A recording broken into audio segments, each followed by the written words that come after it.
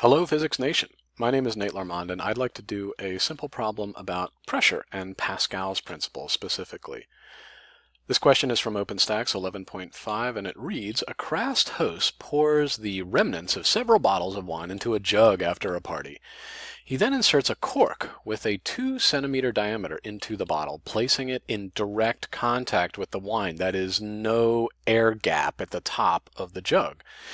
He is amazed when he pounds the cork into place and the bottom of the jug with a 14 centimeter diameter um, dimension breaks away.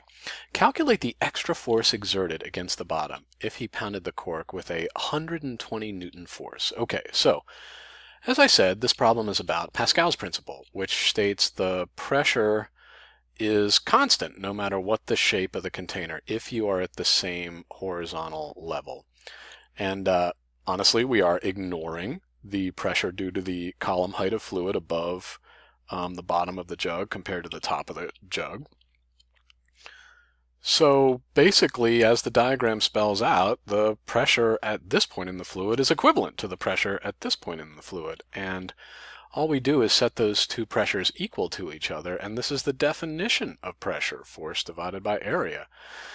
We're trying to find the force exerted by the fluid on the bottom circle of the jug due to the top force. So uh, all you do is um, solve for F2. So we're going to multiply both sides by A2. That puts the proportion of areas as the coefficient multiplied by the first force. Uh, they're circles, and so we do the area as pi r squared. Pi is constant, and so, uh, you know, radius is half the diameter. The fours cancel out, and so we're left with the ratio of diameters squared as being the coefficient multiplied by the original force applied to the top of the jug.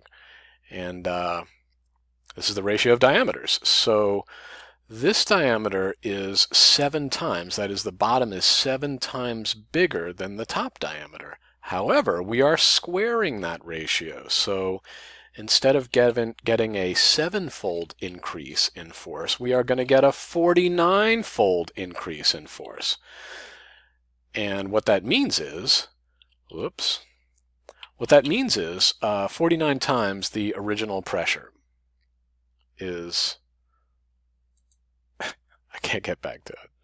49 times the original force is 5,880 newtons. But notice, I made a classic mistake. I said, what's the force? Instead of reading their question, they wanted the extra force. Had I calculated that, um, you have to take the pressure, 5,880, and subtract the original force. They want the additional force. And when you do that, 5,880 minus 120, uh, you will actually get the answer that they give you. Hang on, right there. 5,760 newtons of extra force. Thanks for watching, and I'll see you in the next video.